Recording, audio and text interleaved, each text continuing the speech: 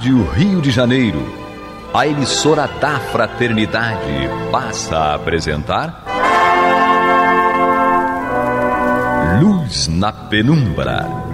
Programa que leva ao seu coração a mensagem da doutrina espírita.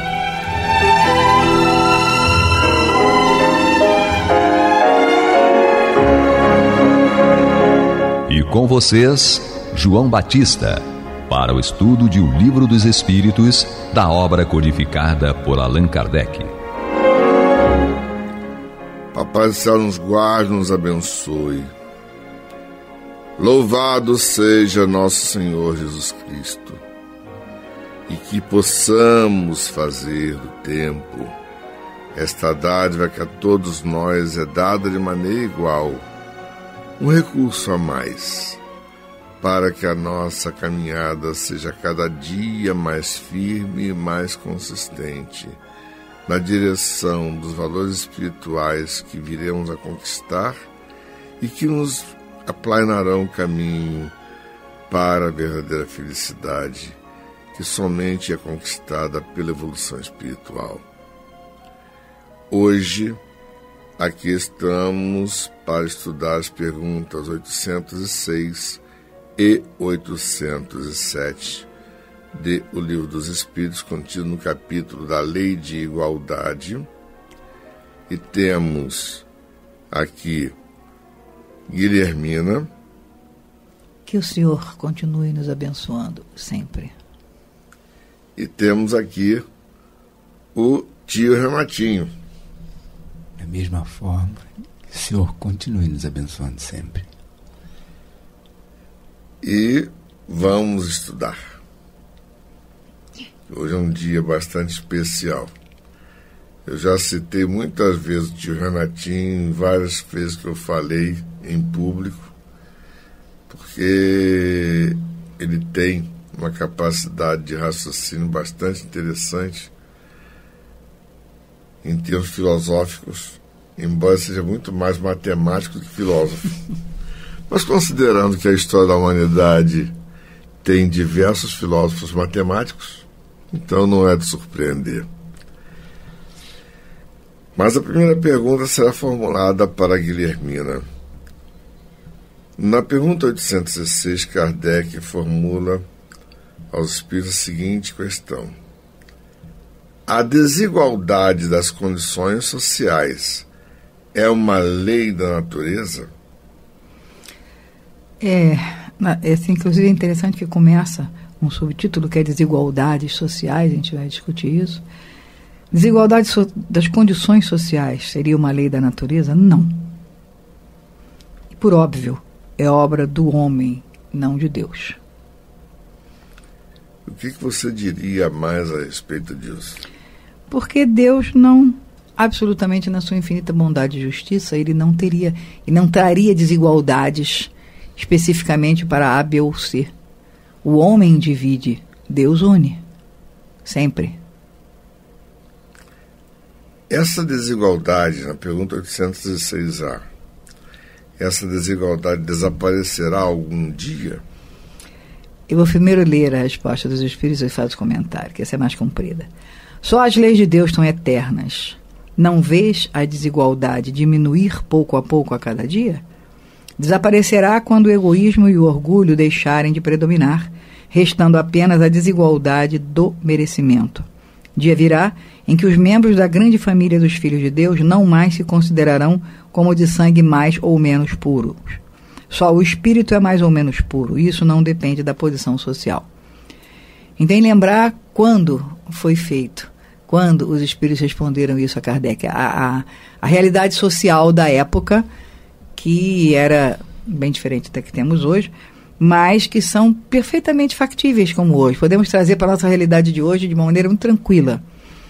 E aí ele diz exatamente isso na pergunta se ele, quando ele pergunta se a desigualdade desaparecerá algum dia. E aí é uma coisa, em princípio, é, dúbia, mas sem conseguir raciocinar, a gente vê que isso é perfeito. Só as leis de Deus são eternas, ou seja, a desigualdade, um dia, desaparecerá. Só que por condições bem diferentes daquelas que a gente imagina hoje. Porque ele diz, ele pergunta, não vê que a desigualdade diminui pouco a pouco? Na época de Kardec, você já vinha uma, uma modificação, lembre-se, o momento iluminismo, etc. Então você já tinha uma mudança da sociedade bem visível, bem perceptível. E aí ele diz que a desigualdade desaparecerá quando o egoísmo e o orgulho deixarem de predominar. Uhum. Isso aí vale para hoje, isso vale para a atualidade, isso vale para todo o raciocínio.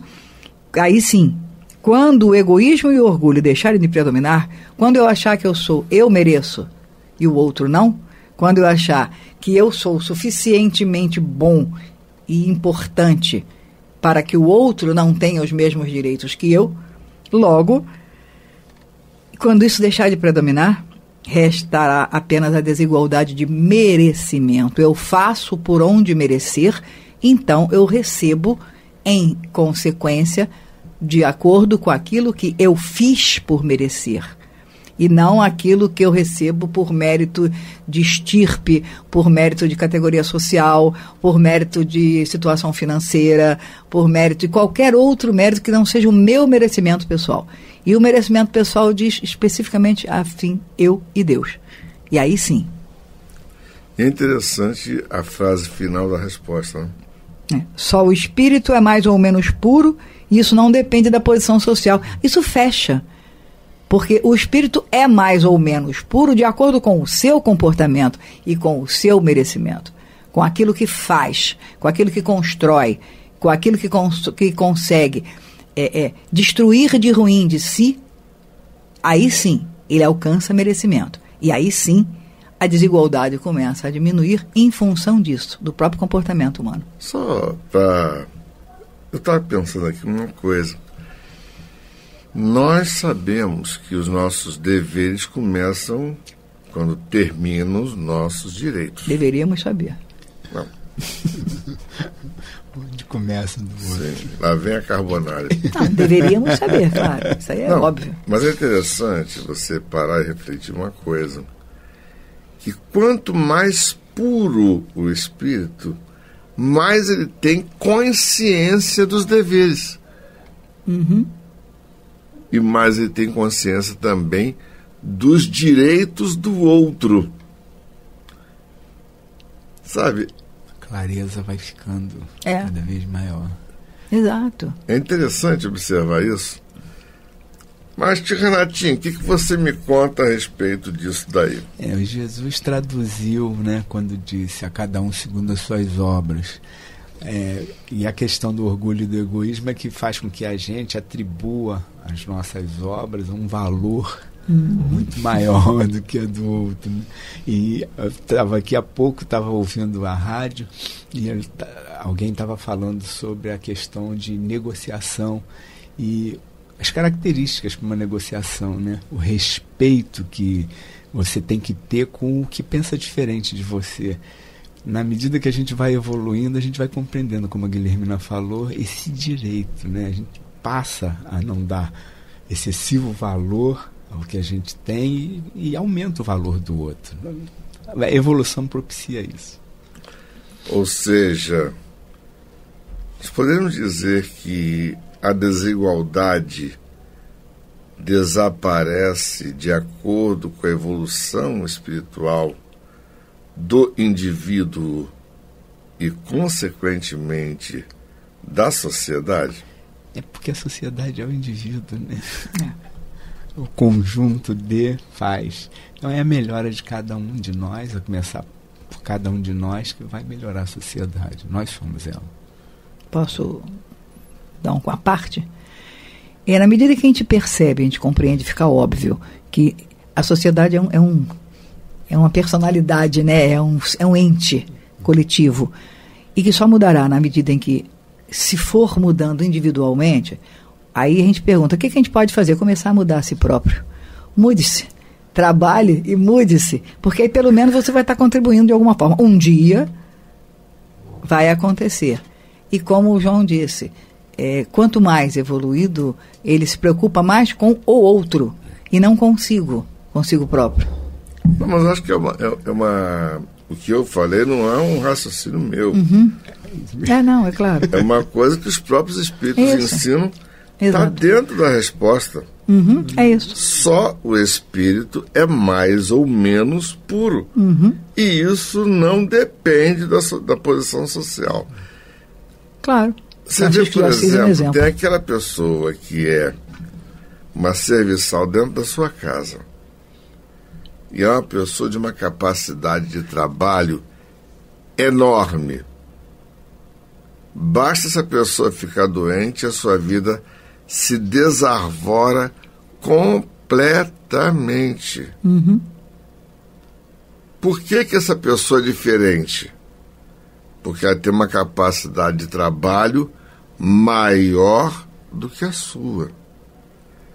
E quem tem maior capacidade de trabalho? Um espírito que tenha uma bagagem evolutiva maior. Socialmente falando, a pessoa que te presta serviço está numa condição subalterna à sua, mas em contrapartida, ela tem uma bagagem espiritual maior. E é aquela pessoa que está sempre sorridente, que está sempre de boa vontade, não é isso? E está sempre alegre por servir e que se torna amada por todo mundo pelos méritos próprios que tem. Jesus traduziu, né? Aquele que quiser ser o melhor, seja o servo. Seja o servo, aquele que serve, né? É. Exato. A gente para e pensa. Não é uma questão de tergiversar e sair do tema do estudo, uhum. mas é reafirmar acima de tudo, que nada é forçado pelas leis divinas. Nós é que vivemos as experiências e mudamos pela nossa própria vontade. Você está ouvindo pela Rádio Rio de Janeiro o programa Luz na Penumbra, com estudo de O Livro dos Espíritos, na apresentação de João Batista. Então, fechando o nosso estudo de hoje, o tio Renatinho vai me responder a essa pergunta 807, que se desdobra em uma outra pergunta anterior, que se desdobra também numa outra pergunta ainda anterior. Aí eles vão perguntar, por que esse desdobramento? De uma pergunta indo a outra e a outra e a outra. Muito simples, gente. Nós estamos vivendo uma época em que nós temos que aprender como Kardec agiu didaticamente. Ele formulou as perguntas de acordo com as suas características de professor, traduzindo as dúvidas de todos e sequenciou as perguntas de tal maneira que pudessem todos compreender.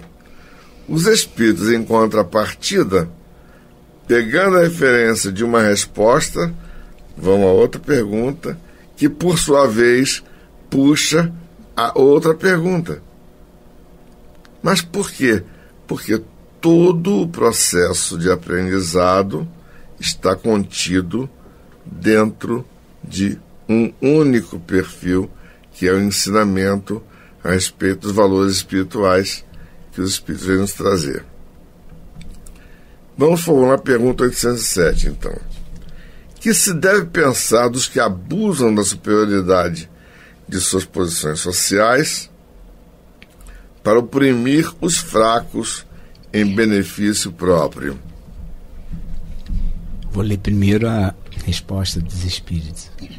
Merecem anátema, ai deles, serão oprimidos por sua vez e renascerão numa existência em que sofrerão tudo o que tiverem feito sofrer aos outros. Aí tem a referência 684, mas é, comentando rapidamente, todo tipo de abuso traz sempre consequências fortes né, para gente. Vamos lá para 684. A 684 diz o seguinte: Que pensar dos que abusam de sua autoridade, impondo aos seus inferiores excessivo trabalho? É um outro abuso. A resposta dos espíritos é uma das piores ações. Todo homem que tem o poder de mandar é responsável pelo excesso de trabalho que impõe aos seus inferiores, porque transgride a lei de Deus. E aí a gente fica imaginando, né? É, hoje a gente às vezes pretende, entende ocupar posições de mando e a gente não tem ideia às vezes da responsabilidade que isso acarreta, né? É, traz muita responsabilidade, o mando, a posse, né? e depois mais na frente vai se falar um pouco disso quando se pergunta sobre as provas da pobreza e da riqueza, né? Normalmente a gente quer muito essas questões, mas a gente não pede e não tem ideia da responsabilidade que elas trazem. E essa questão fez uma referência a 273. Acho que uma vai corroborando a outra.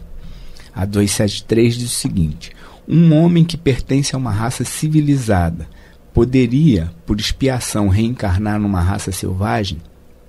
A resposta dos espíritos: Sim, mas não depende do gênero da expiação. Mas depende do gênero da expiação. Um senhor que tenha sido cruel com seus escravos poderá, por sua vez, tornar-se escravo e sofrer os maus tratos que infligiu a outros.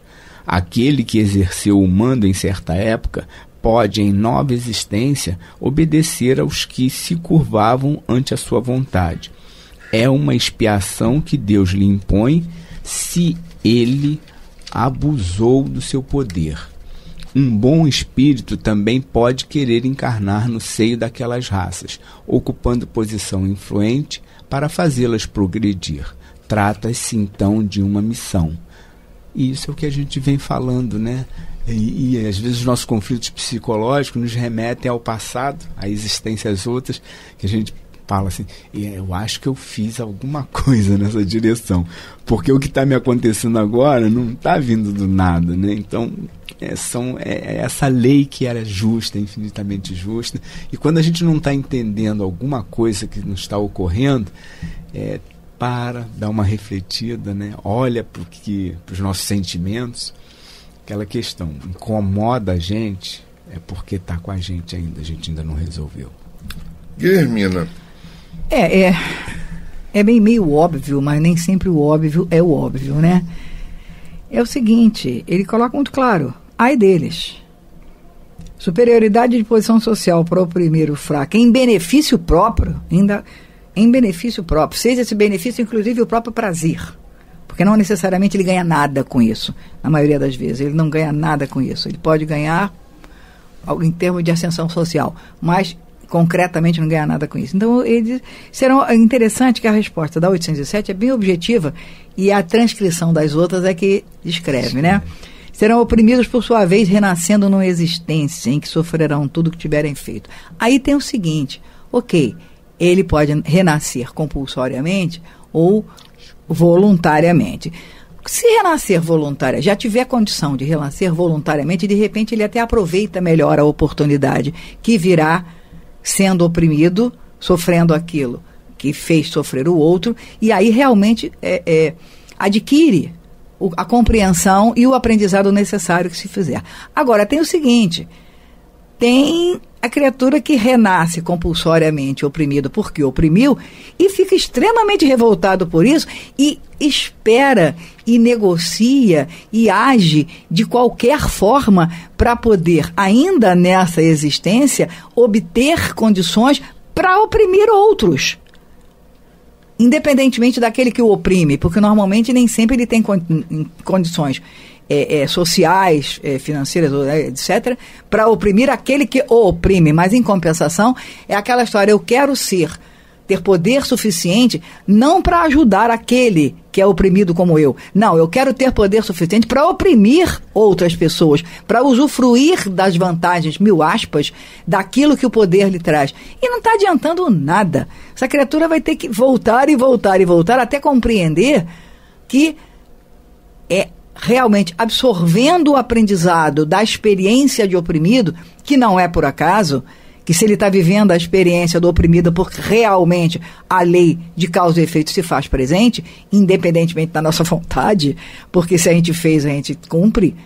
Agora, aproveitar a oportunidade deste momento de ser oprimido para refletir em cima, como você disse, o que, que eu andei fazendo para poder passar por isso, já dá para refletir. Agora, o grande perigo, que é o, a, grande, a grande armadilha da sua própria inferioridade, porque tem, aí volta a velha história do orgulho.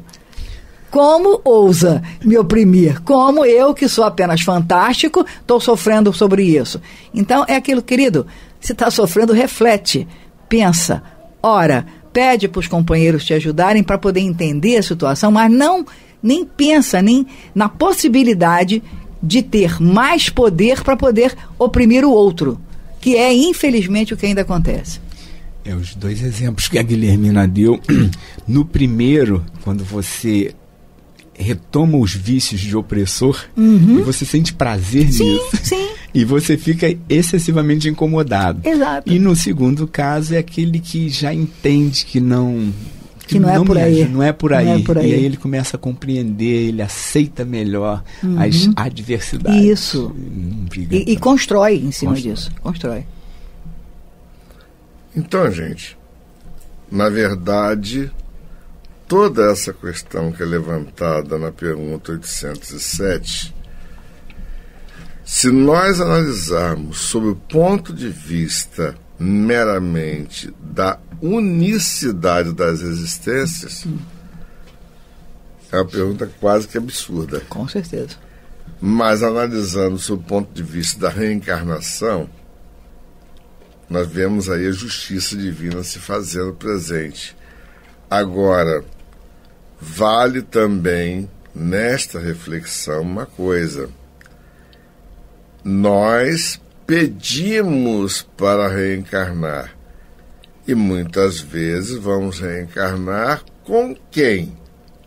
Com as pessoas que provavelmente oprimimos ontem e aí nós não aceitamos nem entendemos as dificuldades de relacionamento que essas pessoas têm conosco.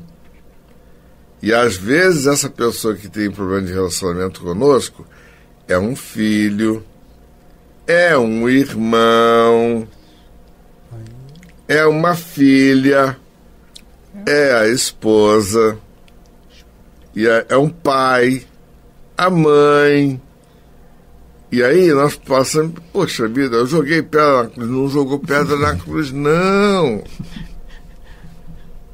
Você simplesmente desobedeceu às leis divinas, meu amigo.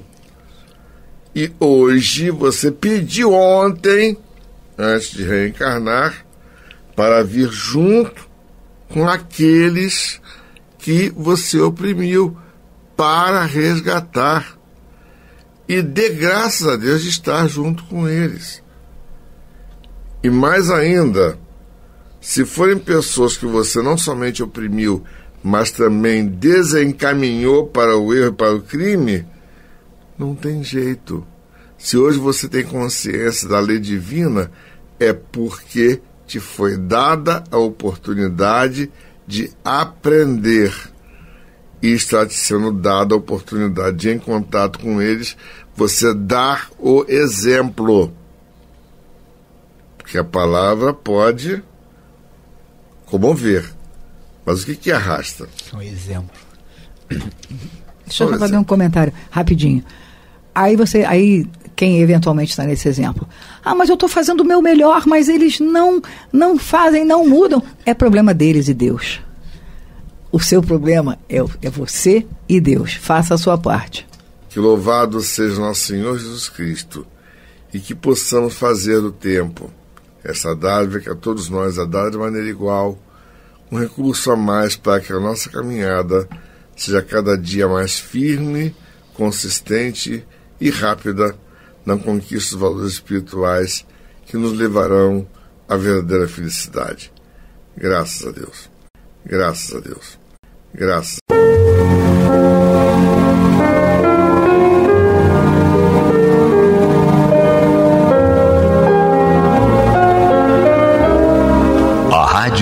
Janeiro está levando ao seu lar e ao seu coração a mensagem consoladora da doutrina espírita, através do programa Luz na Penumbra. E agora com vocês, Antônio de Pado Barbosa e Marta Batista. Olá, meus amigos, bem-vindos todos aqui ao nosso programa Luz na Penumbra, no qual nós estudamos o Evangelho segundo o Espiritismo de Allan Kardec.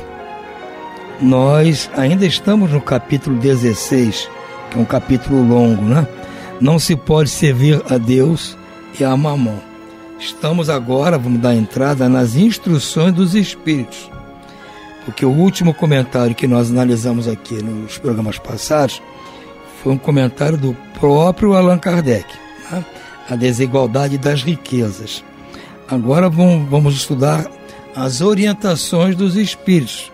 E neste final de capítulo, há diversas recomendações aqui, mostrando para nós a importância que existe nas riquezas ditas materiais, ou seja, é um assunto que deve ser tratado com carinho, sem a, a, a, aquele, aquela coloração de preconceitos, entendeu? Coisas preconcebidas, é, que, que geralmente se imputa as pessoas que detêm a riqueza. Cada um tem seu papel aqui na nossa humanidade. Ah. Aos que detêm a riqueza temporariamente, aos que não detêm, aos que têm que trabalhar para oferir a riqueza, outros só servem para administrar. Há várias maneiras de nós aprendermos a lidar com a riqueza. E todos nós vamos ter que passar mais cedo ou mais tarde por esse crivo de saber usar a riqueza não é? não é saber gastar a riqueza, saber usá-la de modo que ela realmente possa exercer o seu papel importante para a nossa humanidade. Então, como sempre, está aqui conosco Marta Batista, que vai iniciar esse estudo das instruções dos Espíritos, aqui com a verdadeira propriedade, que se inicia no item 9. E na técnica está, como sempre, nosso amigo Pablo. Martinho, vamos lá, tratar da riqueza. Hein? Vamos tratar da riqueza e vamos aprender como é que a gente é, pode interagir com ela, né? qual é a forma correta. E dessa maneira, eu acho até que a gente não vai mais né, falar e pedir o que a gente sempre fala e pede, né? Nossa, eu queria, tá, se eu ficasse rico, eu ia fazer assim, ia fazer assado. A gente já vai ter mais ponderação, porque a gente sabe que aquele que detém a riqueza tem uma tarefa a cumprir. E a tarefa é uma tarefa não é muito, não é das mais fáceis. Né? Então a gente já vai ter mais ponderação, entendendo, vendo a riqueza de uma forma mais madura e mais espiritual. Né? Então vamos ver o que é, o espírito Pascal, né, que recebeu essa, essa mensagem, veio através dele, chegou em Genebra em 1860 e tem como tema a verdadeira propriedade. E é muito interessante esse tema, porque ele é determinante para que a gente consiga, é, entendendo a verdadeira propriedade, no que consiste, nós então agirmos de forma diferenciada e sermos mais equilibrados e sermos mais justos, até mesmo na prova que você está detendo nessa atual encarnação, caso seja a prova da riqueza, né? Então você vai entender melhor, você não vai ter mais aquela, aquele olhar é, material para a riqueza. Então vamos ver. Ele começa dizendo: verdadeiramente, o homem só possui como sua propriedade o que pode levar deste mundo. Nossa, isso já muda tudo. Porque a gente ouve pessoas com muito dinheiro dizerem o quê? Né? Elas dizem: não, peraí, o dinheiro é meu, faço com ele o que eu achar melhor. Ó, não posso fazer nada, foi Deus que me fez rico. E aí você fica, né? Ouvindo aquilo e mesmo que você já saiba tudo isso que você aprendeu com a doutrina, você fica, né? Na sua e pensando se deve falar alguma coisa ou não. Ou deixar que a pessoa faça o seu caminho de aprendizado individualmente. Né? Então, a gente entender qual é a nossa verdadeira propriedade, entender que a riqueza foi dada uma oportunidade de você passar por aquela prova, mas ela não é sua. A riqueza não é sua. A riqueza pertence a Deus, as questões materiais pertencem a Deus, que faz dela aquilo que ele julgar melhor, mais apropriado para aquele roteiro evolutivo daquele espírito.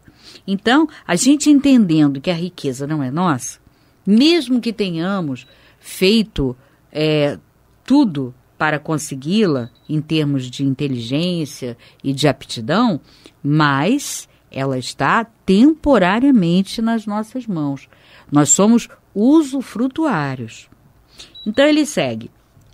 O que encontra ao chegar e o que deixa ao partir, ele desfruta durante a sua permanência na terra.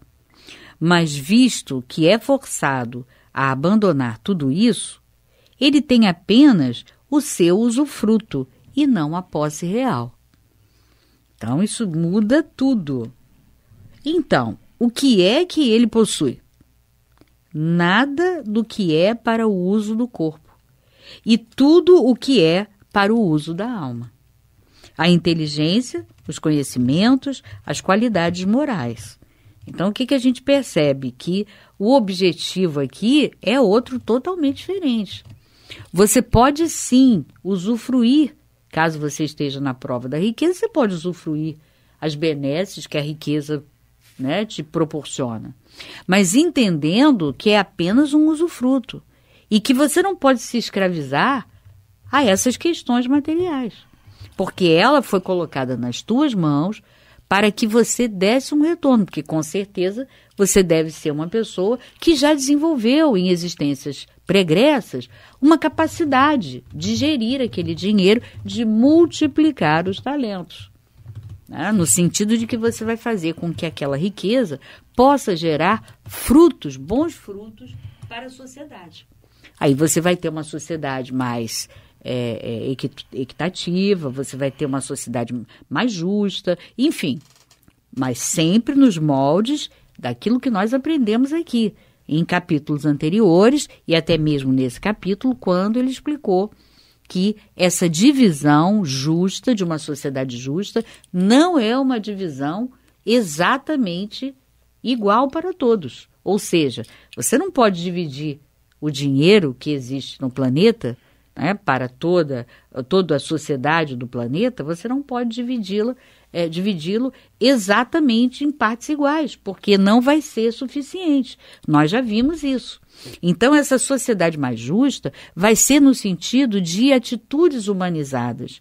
Então, você vai ser o patrão e aquelas pessoas, muitas delas, vão ser os teus funcionários. Mas você vai ser um patrão justo, você vai ser um patrão humano, e que, logicamente, aquele que se esforçar, você vai dar todas as oportunidades.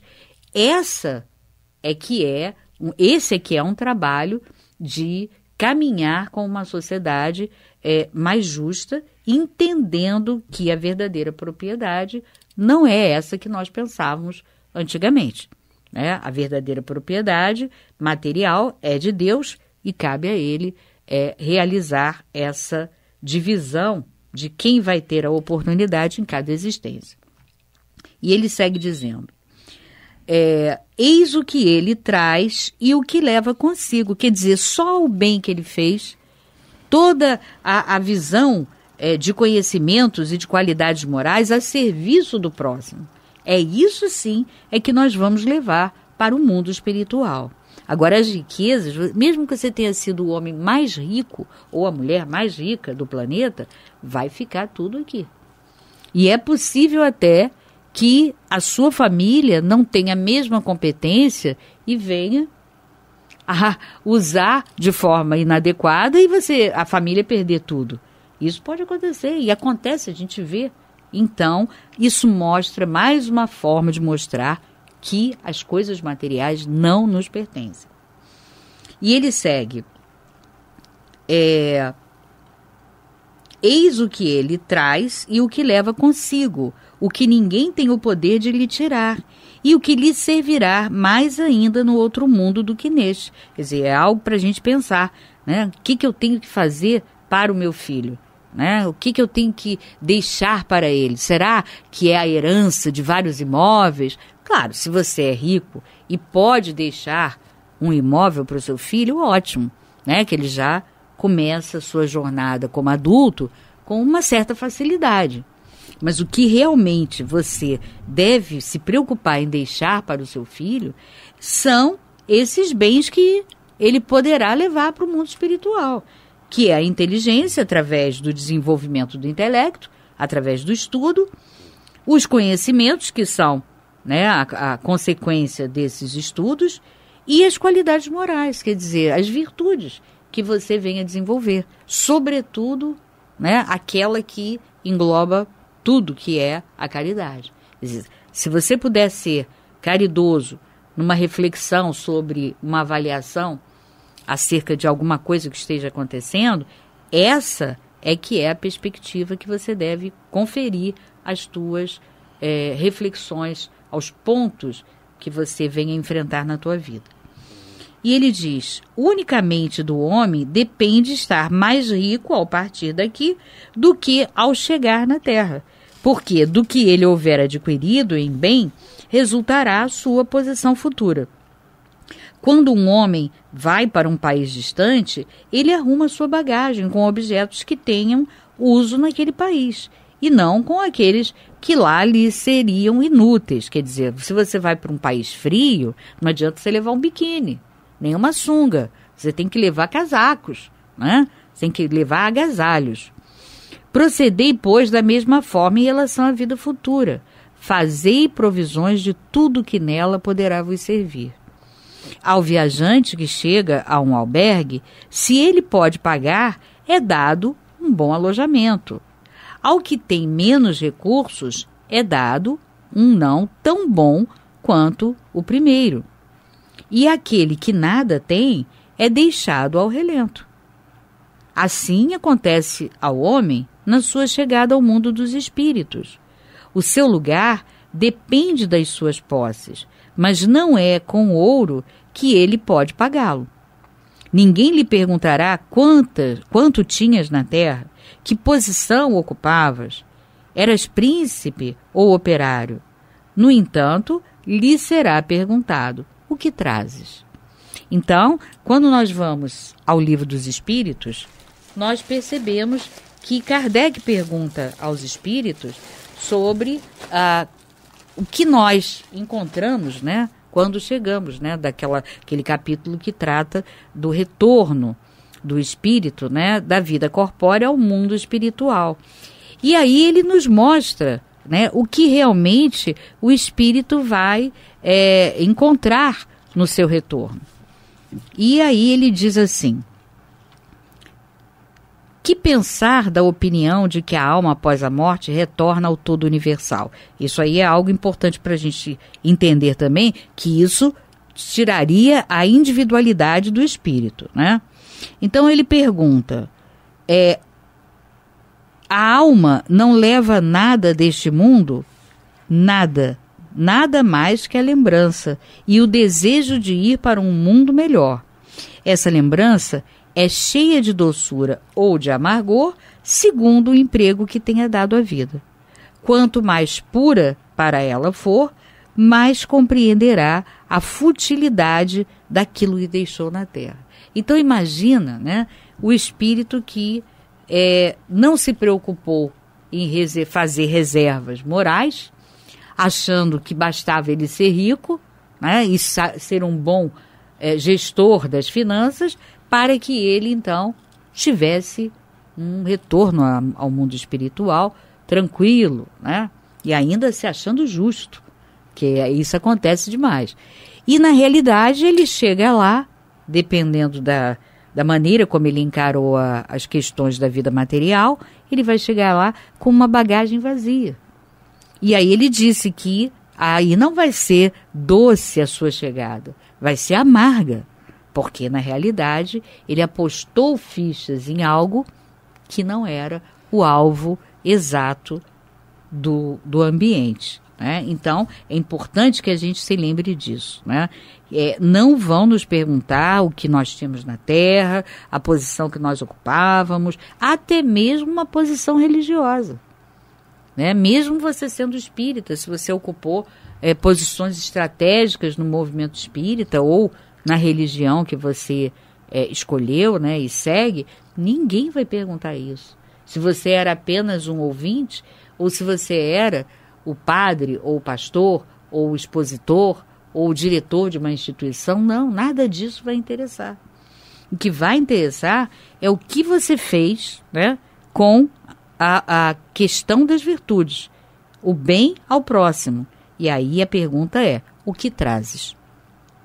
Não se calculará o valor dos seus bens, nem dos seus títulos, mas a soma das suas virtudes. E de acordo com esses cálculos, o operário pode ser mais rico que o príncipe. Olha que interessante, né? Então, a perspectiva da avaliação em relação a você e o que você fez da riqueza, né? que é justamente o que ele quer mostrar para nós, a diferença entre a verdadeira propriedade e a propriedade que não é real, é justamente em cima disso, né? É a soma das virtudes e não o elenco dos seus títulos, que é isso que vai ser avaliado. E ele segue: inutilmente o homem alegará que antes de deixar a terra pagou em ouro a sua entrada. Olha, quem o religioso que trabalhou nesse patamar, nesse tipo de condições materiais, materializando o espiritual, né, que é a, oferecendo e garantindo a, a condição de você ter um espaço no céu, isso é muito complicado. Porque olha só, ele diz: aquele que alegou que pagou, agora imagina, aquele que alegou que pagou pela entrada no céu já está numa situação difícil. Agora, aquele que prometeu a, a, e garantiu, ainda deu aval. Não, está garantido. Se bobear, fez até certificado de propriedade. Mas existia isso, não? Existia, se, se comprava a indulgência, recebia um documento. Pois Foi é. contra isso que o Lutero se insurgiu. Exatamente. Agora imagina a situação desses religiosos, né, que fizeram esse tipo de promessa e levaram os seguidores, né, de boa, de boa fé, que logicamente eles não tinham tanto conhecimento, estavam de boa fé, acreditando na boa fé desse. Eles iam de cidade em cidade, na, naquela época, na Idade Média, oferecendo esses títulos, garantindo a pessoa a entrada no céu, desde que cumprisse algumas coisas, como donativos, doações lá para a instituição religiosa, e davam aquele atestado, e que você guardava aquilo como garantido que você. Não e, e, e absolvia você dos pecados todos e dava um documento. Foi contra isso que o Martin Lutero Sim, sem dúvida, né? E muito bem colocado, né?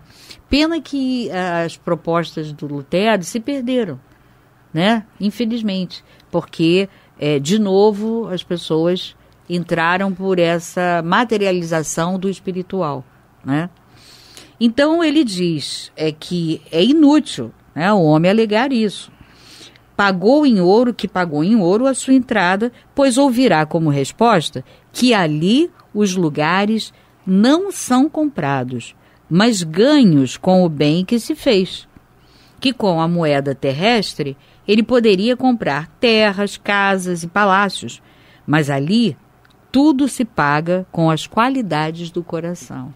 Olha que interessante, né?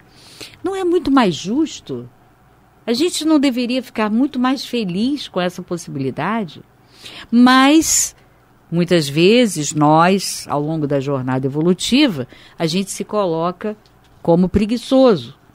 E aí você diz, ah, não, meu Deus do céu, ah, é muito difícil. Por exemplo, ele está dizendo que eu devo perdoar. Ah, eu não consigo. Eu não consigo deixar de, de, de superar aquela mágoa de alguém que me fez muito mal. Enfim, então ele prefere alegar tudo isso, sabendo que no fundo isso não tem nenhuma razão, nenhuma racionalidade, né? Mas ele prefere do que encarar né, o esforço da transformação que é necessário para que você faça o bem ao próximo, para que você é, desenvolva essas virtudes, esses talentos, que são os talentos que você deve multiplicar. Então ele diz: És rico dessas qualidades, as qualidades do coração? Sê bem-vindo e vai para o primeiro lugar onde todas as felicidades te esperam. Olha, isso inclusive é um acalanto para aqueles que estão na prova da pobreza. Por quê?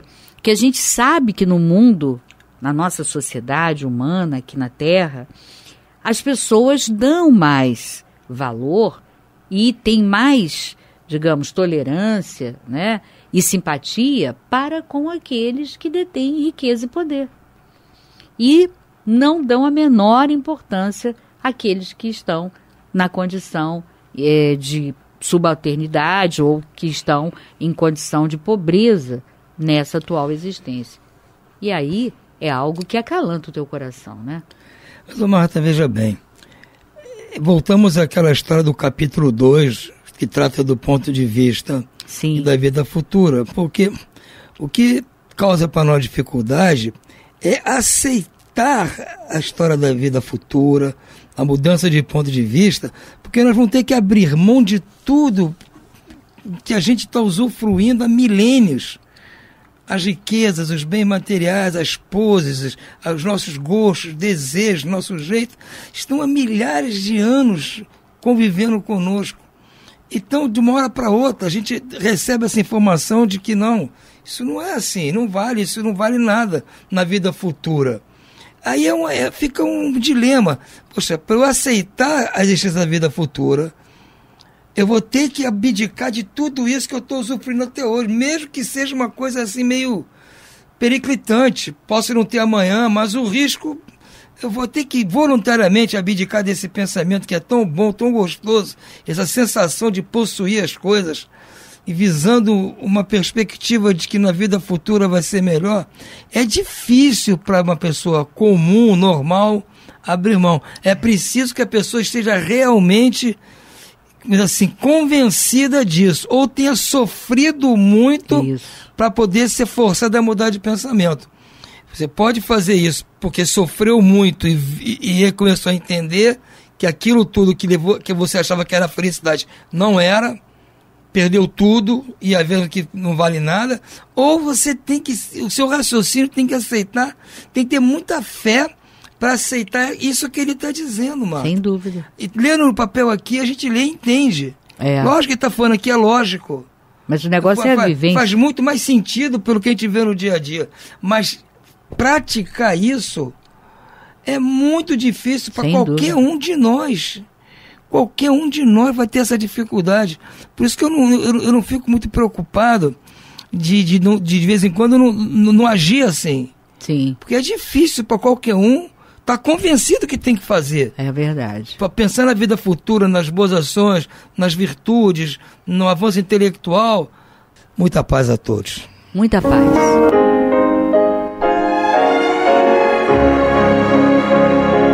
E vamos ouvir agora a prece de encerramento de nosso programa, na voz de Geraldo de Aquino.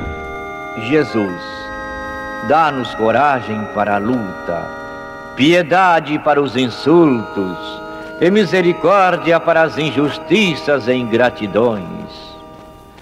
Limpa nossa alma de inveja e ambições mesquinhas, de ódio e de vingança o nosso caminho e que dentro em pouco, ao recolher-nos de novo ao calor do nosso leito, para que o sono nos dê a paz e o esquecimento das tristezas humanas, possamos sentir, Senhor, no mais íntimo de nosso ser, a doçura indefinível do teu amor e a grandeza incomparável da tua divina presença que assim seja.